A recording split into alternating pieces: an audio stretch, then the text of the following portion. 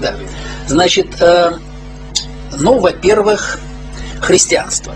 Христианство, в общем-то, э, начало э, заканчивать свое существование в те времена, когда Маркс писал коммунистический манифест. Если взять его почитать, он очень четко сформулировал положение христианства. То есть оно гибнет. И это действительно так. Потому что, э, ну, в силу того, как оно было построено, э, значит, оно не смогло устоять против социальных революций. И его гибель началась где-то в середине XIX э, века, а где-то к началу 20 века христианство практически прекратило существование свое как, ну, как ведущая религия которая могла бы, так сказать, действительно держать народ, которая могла бы двигать, ну, что-то могла бы сделать, так сказать, с точки зрения религиозной. Вот, оно приспособилось, христианство очень удобно приспособилось под современный мир. Э, существуют христианско-демократические партии, да, так же, как в Израиле существуют тоже, так сказать, партии, которые у власти стоят. Вот, религиозная партия. Э, то есть практически как религия, как э, некий духовный базис для людей, христианство умерло. А ислам, он был заложен в те времена, когда он закладывался, он был заложен именно как очень стойкое, очень э, жизнестойкое, крепкое учение которая способна выдержать любые э, вот, ситуации изменения в мире. Э, он строился по-другому, ислам. У него был живой, реальный руководитель, который, э, так сказать, получил пророчество, и в этом нет никаких сомнений. Если там с христианством есть разные правила самих христиан, есть вопросы по этому поводу, то в исламе все достаточно просто. Был пророк, получал пророчество, стал создавать свою общину религиозную, и на этой основе он построил новое, так сказать, новую общину, новое учение, причем оно оказалось достаточно устойчивым. Потому что, ну так, если почитать Коран, э, это видно. Видно просто из самого Корана, что значит э, учение строилось таким образом, э, чтобы оно выстояло, выстояло в сложных ситуациях.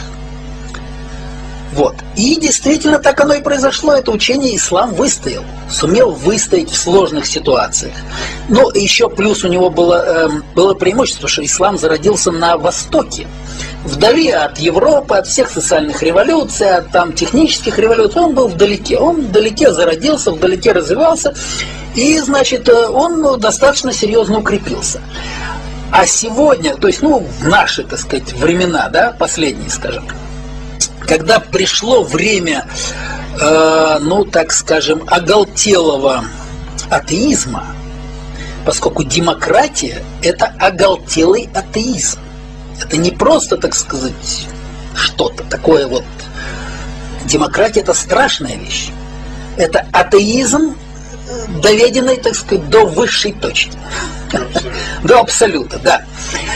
Так вот, когда пришло время вот этого самого демократии, когда демократия начала заливать весь мир, когда от христианства практически остались только э, ну, памятники архитектуры, так скажем, больше почти, почти ничего.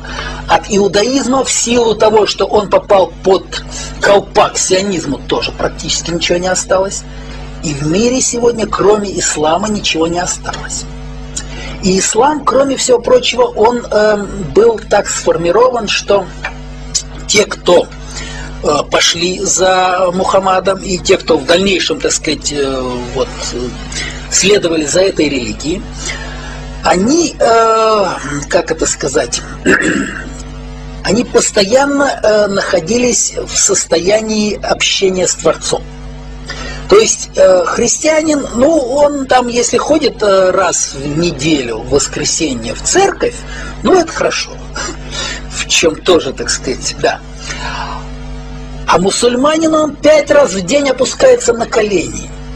Пять раз в день. Причем строго выверены по времени, так сказать, я же с ними там живу, да. И кроме того, я когда вот, скажем, ездил в Европу, я где-то в Риме там в аэропорту был, э, там такой тихий закуточек. Ну, пришло время молиться. Значит, я пошел в этот закуточек. Ко мне пришли туда двое мусульман. Я стоял, молился там свое, они, значит, положили газетки, стали на колени. Это ислам. И, в общем, э, А это, это говорится о очень много. Человек пять раз в день, хотя бы на пять. Это там молитва очень небольшая. Я смотрел, вот мне так, была возможность посмотреть молитву, что в ней написано. Значит, молитва очень небольшая, но она очень серьезная, она очень глубокая. Человек на пять минут становится на колени, наклоняется, произносит то, что там написано, он общается в этот момент со Всевышним. Это очень важно, это очень много. Поэтому ислам, э, в общем, это религия будущего. Ну, так скажем, вот если сегодня мир не будет закрыт, э, в силу того, что государство пока что, которое называется Израиль, существует, а это мы сейчас находимся именно на этой стадии, значит, идет стремительное закрытие мира. Потому что государство не имеет права на существование. Вот полтора года назад закончились все возможные допустимые сроки, все, мир начал закрываться. То есть, ну, как Всевышний закрывает все эти, так сказать, экономические и так далее, все эти катастрофы, которые идут одна за другой, э, любые попытки э, какого-то дальнейшего прогноза, значит, остановки, там, выбросы, это все бессмысленно. Мир будет закрыт. Это неизбежно. Если не, э, так сказать, ликвидируют вот это государство, которое является как раз корнем зла.